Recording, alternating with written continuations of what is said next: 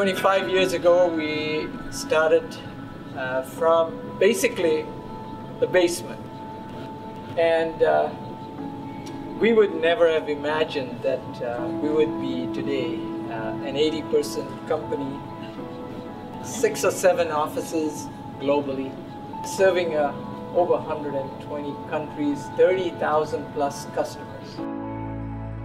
We, we ran through an exercise a few years ago where we asked our staff to think of, you know, what, what embodies Transoft, the culture of it. And so words came up like passionate, creative, hardworking, respectful, devoted, ambitious, friendly, caring, and the list goes on and on. And, uh, and I think that's what you see here. And this is something that you'll see in the people that are here today and all the people that were here before them as well. And, and each one of you has been a, an integral part of that growth.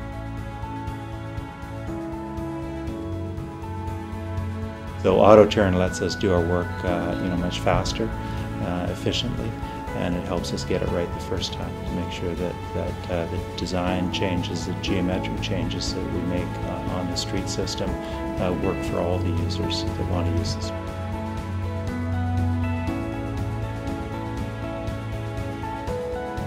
Right, well, it was a corrective measure at first. Now it's a preventative measure. Right, I'm going to prevent a lot of errors and save cost overrun on the construction end by having this product run through my design and make sure that I didn't make any mistakes. I saw at Transoft uh, when I was a young engineer starting out at the beginning of my particular career, and what I see now is that the company still is there and working with the client you know, supporting the client and following through.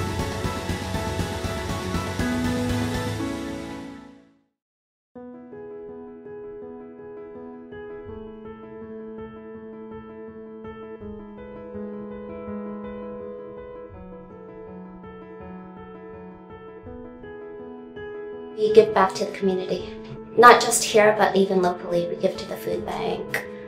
Uh, we do BC Children's Hospital, just like other local initiatives that Milton's really passionate about.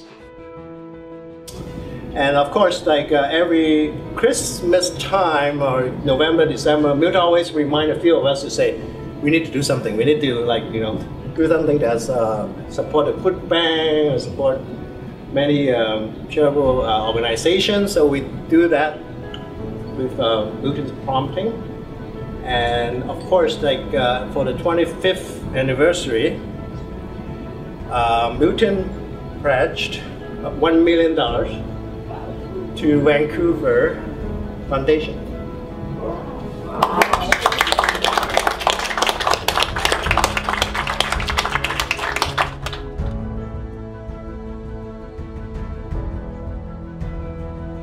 Just go ahead. It's just like going, we spend eight hours here, so it's like most of our days. So uh, my family is back home, so this is my family here. So that's actually, that's what I do is I come and enjoy my time.